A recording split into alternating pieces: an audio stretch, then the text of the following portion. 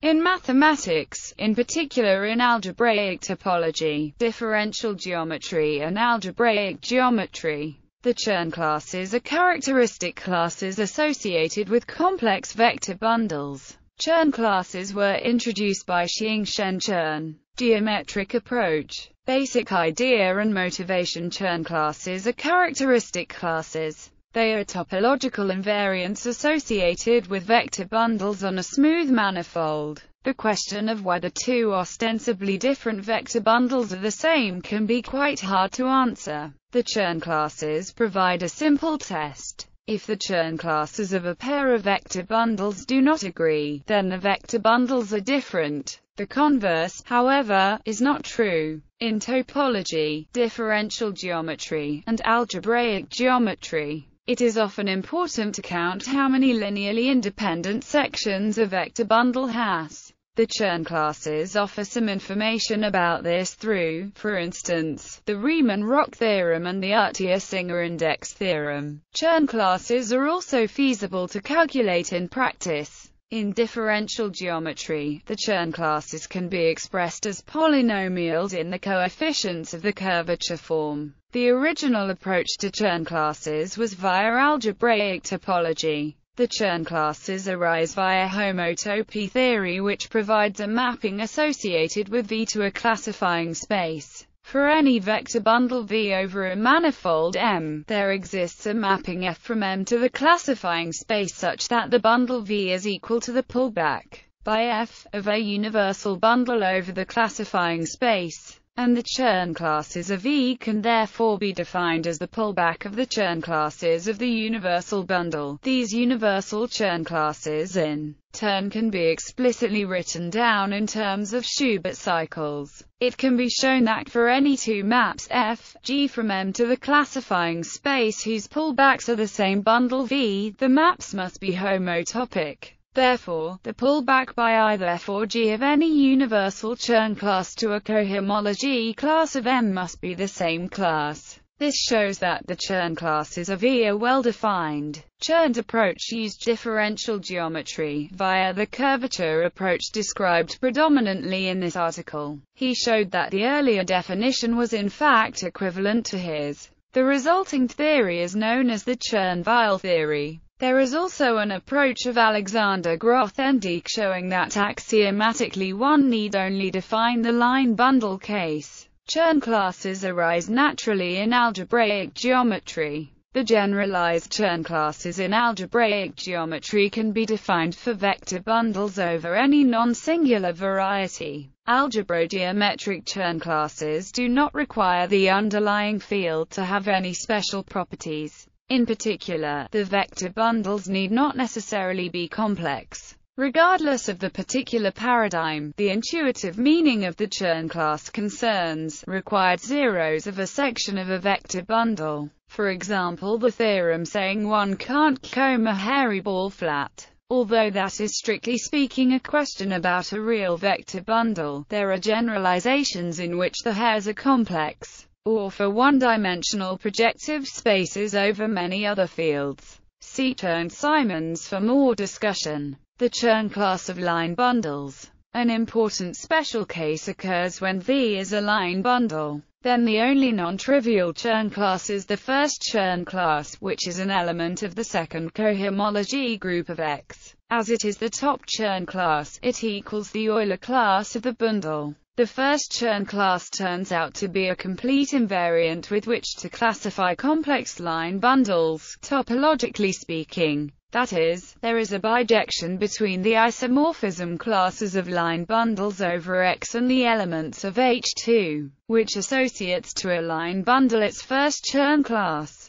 Moreover, this bijection is a group homomorphism. The tensor product of complex line bundles corresponds to the addition in the second cohomology group. In algebraic geometry, this classification of complex line bundles by the first Chern class is a crude approximation to the classification of holomorphic line bundles by linear equivalence classes of divisors. For complex vector bundles of dimension greater than 1, the Chern classes are not a complete invariant. Constructions Via the Chern-Weil theory given a complex Hermitian vector bundle V of complex rank n over a smooth manifold M, a representative of each Chern class CK of V given as the coefficients of the characteristic polynomial of the curvature form omega of V. The determinant is over the ring of n times n matrices whose entries are polynomials in T with coefficients in the commutative algebra of even complex differential forms on M. The curvature form omega of V is defined as with omega the connection form and d the exterior derivative, or via the same expression in which omega is a gauge form for the gauge group of V. The scalar t is used here only as an indeterminate to generate the sum from the determinant, and I denotes the n times n identity matrix.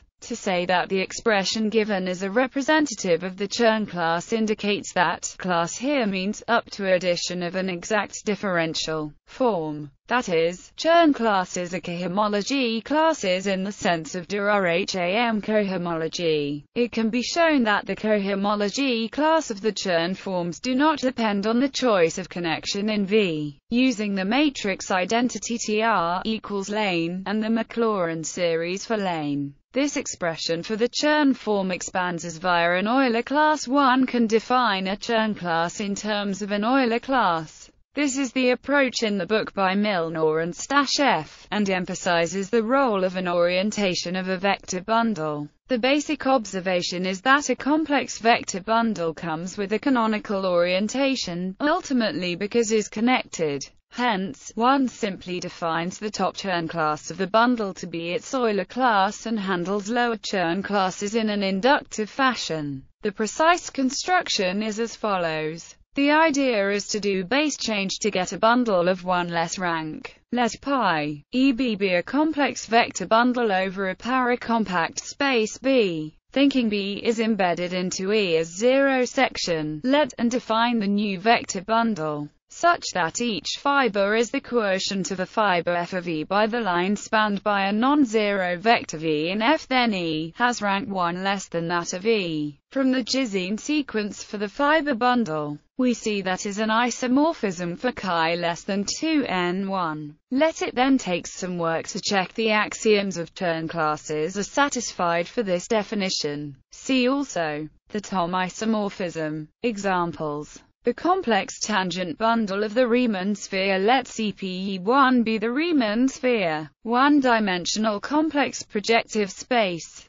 Suppose that Z is a holomorphic local coordinate for the Riemann sphere. Let V equals TCP1 be the bundle of complex tangent vectors having the form A, Z at each point, where A is a complex number. We prove the complex version of the hairy-ball theorem. V has no section which is everywhere non-zero. For this, we need the following fact. The first Chern class of a trivial bundle is zero, i.e., this is evinced by the fact that a trivial bundle always admits a flat connection. So, we shall show that consider the Kähler metric 1 readily shows that the curvature 2 form is given by furthermore. By the definition of the first Chern class we must show that this cohomology class is non-zero. It suffices to compute its integral over the Riemann sphere. After switching to polar coordinates, by Stokes' theorem, an exact form would integrate to zero, so the cohomology class is non-zero. This proves that TCP1 is not a trivial vector bundle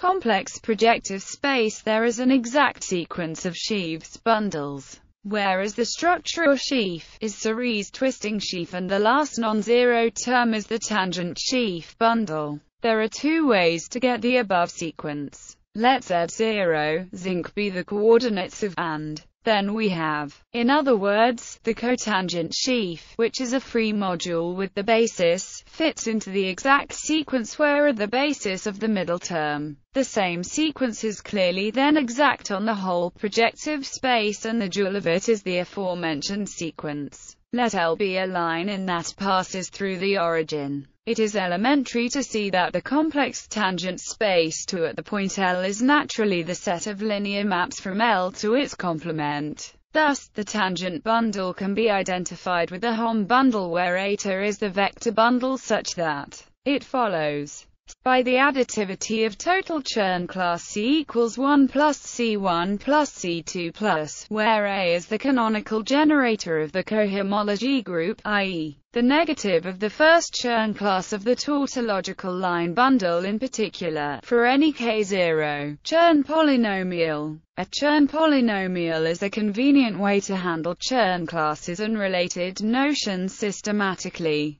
By definition, for a complex vector bundle E, the Chern polynomial quarter V is given by. This is not a new invariant. The formal variable t simply keeps track of the degree of ck. In particular, is completely determined by the total Chern class of E, and conversely. The Whitney sum formula, one of the axioms of Chern classes, says that court is additive in the sense now, if is a direct sum of line bundles, then it follows from the sum formula that, where are the first Chern classes, the roots, called the Chern roots of E, determine the coefficients of the polynomial, i.e., where sigma k are elementary symmetric polynomials. In other words, thinking of I as formal variables, ck, r, sigma k, a basic fact on symmetric polynomials is that any symmetric polynomial in, say, T's is a polynomial in elementary symmetric polynomials in T's,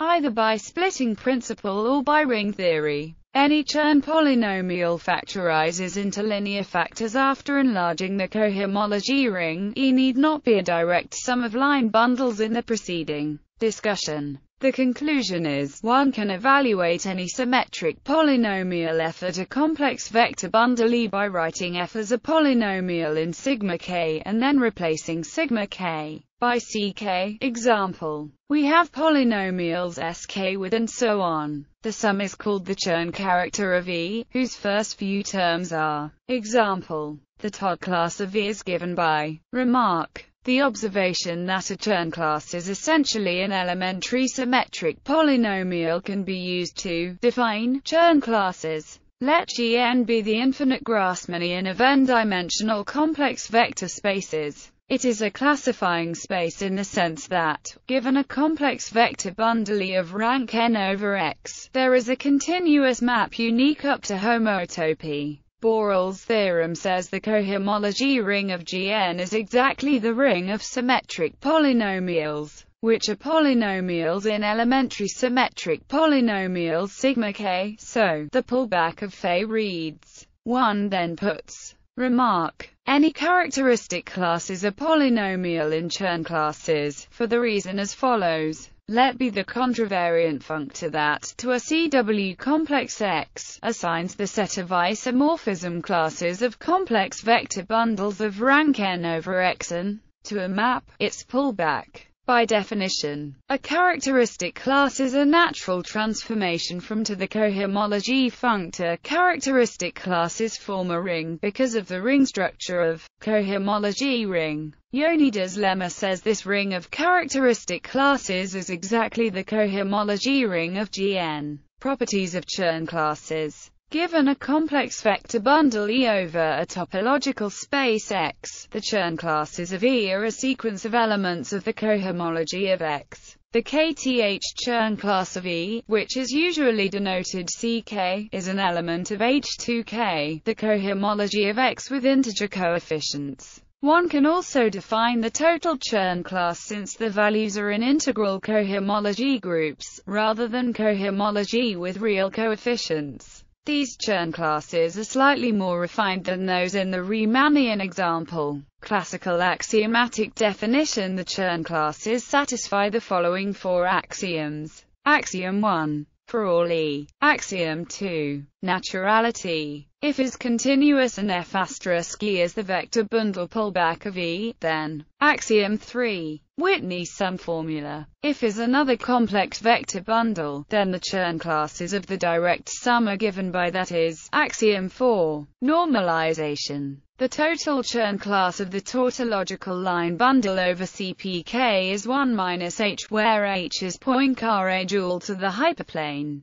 Alexander Grothendieck axiomatic approach Alternatively, Alexander Grothendieck replaced these with a slightly smaller set of axioms. naturality, additivity. If is an exact sequence of vector bundles, then normalization. If E is a line bundle, then where is the Euler class of the underlying real vector bundle? He shows using the Leray-Hirsch theorem that the total Chern class of an arbitrary finite rank complex vector bundle can be defined in terms of the first Chern class of a tautologically defined line bundle, namely, introducing the projectivization P of the rank n complex vector bundle EB as the fiber bundle on B whose fiber at any point is the projective space of the fiber EB. The total space of this bundle P is equipped with its tautological complex line bundle, that we denote tau, and the first Chern class restricts on each fiber P to minus the class of the hyperplane, that spans the cohomology of the fiber, in view of the cohomology of complex projective spaces. The classes therefore form a family of ambient cohomology classes restricting to a basis of the cohomology of the fiber. The Leray-Hirsch theorem then states that any class in H** can be written uniquely as a linear combination of the 1, a, a2, and minus 1 with classes on the basis of coefficients. In particular, one may define the Chern classes of E in the sense of Grothendieck, denoted by expanding this way the class, with the relation. One then may check that this alternative definition coincides with whatever other definition one may favor, or use the previous axiomatic characterization. The top Chern class In fact, these properties uniquely characterize the Chern classes. They imply, among other things, if n is the complex rank of E, then for all k greater than n. Thus the total Chern class terminates. The top Chern class of E is always equal to the Euler class of the underlying real vector bundle. Proximate notions the Chern character Chern classes can be used to construct a homomorphism of rings from the topological K-theory of a space to its rational cohomology. For a line bundle L, the Chern character CH is defined by more generally, if is a direct sum of line bundles. With first Chern classes the Chern character is defined additively this can be rewritten as this last expression, justified by invoking the splitting principle, is taken as the definition CH for arbitrary vector bundles V. If a connection is used to define the Chern classes when the base is a manifold, then the explicit form of the Chern character is where omega is the curvature of the connection. The Chern character is useful in part because it facilitates the computation of the Chern class of a tensor product. Specifically, it obeys the following identities. As stated above, using the Grothendieck additivity axiom for Chern classes. The first of these identities can be generalized to state that CH is a homomorphism of abelian groups from the K-theory K and the rational cohomology of X. The second identity establishes the fact that this homomorphism also respects products in K, and so CH is a homomorphism of rings. The Chern character is used in the Hirzebruch-Riemann-Roch theorem. Chern numbers If we work on an oriented manifold of dimension 2n, then any product of Chern classes of total degree 2n can be paired with the orientation homology class to give an integer, a Chern number of the vector bundle. For example, if the manifold has dimension 6, there are three linearly independent Chern numbers, given by C13, C1, C2, and C3. In general, if the manifold has dimension 2n, the number of possible independent Chern numbers is the number of partitions of n. The Chern numbers of the tangent bundle of a complex manifold are called the Chern numbers of the manifold, and are important invariants. The Chern class in generalized cohomology theories There is a generalization of the theory of Chern classes where ordinary cohomology is replaced with a generalized cohomology theory. The theories for which such generalization is possible are called complex orientable. The formal properties of the Chern classes remain the same, with one crucial difference.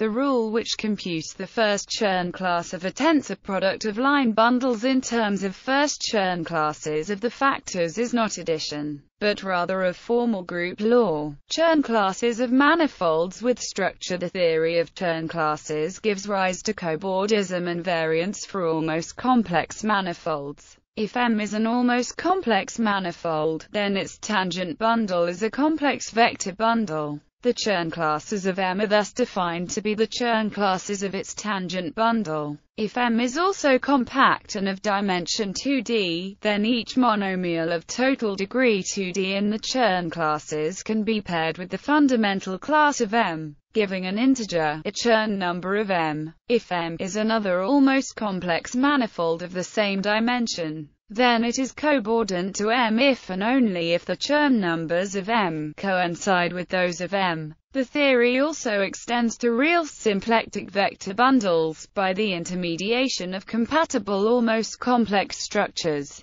In particular, symplectic manifolds have a well-defined Chern class.